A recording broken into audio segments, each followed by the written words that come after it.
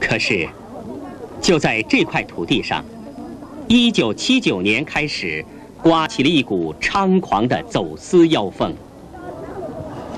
都是这种的吗？没有不是满了吧？满了，满了。嗯。我们来说，老师，你来打。这怎么了？这里距离香港只有几十海里，海上交通十分方便。在短短的三年间，据不完全统计，全县直接到香港走私的就有五千多人。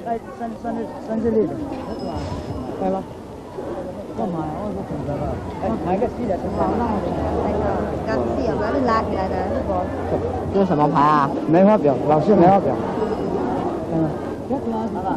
呀，找啊。过来。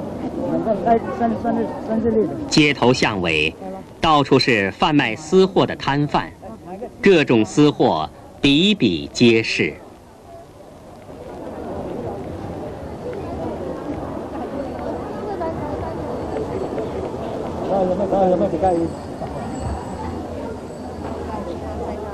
一些城镇和公社，形成了远近闻名的私货集市。国外有人讥讽说，这里是远东的国际市场。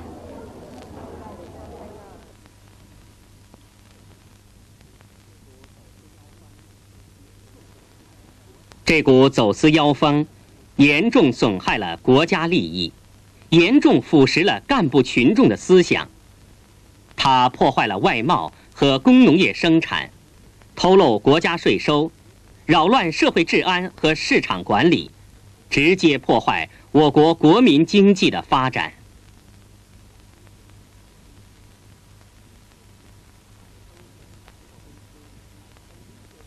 海丰县百货公司，一九七九年销售国产手表。两千九百多只，而八一年仅销售四只。这是走私带进海丰的假人民币，它是用日本的纸、台湾的版在香港印刷制造的。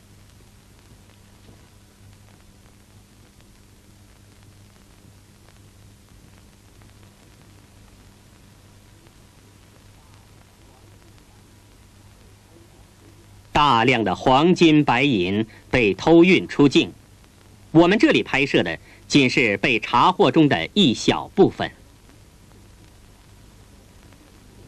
有的同志痛心地说：“这里流出的哪里是黄金？这是我国人民的血汗呐！”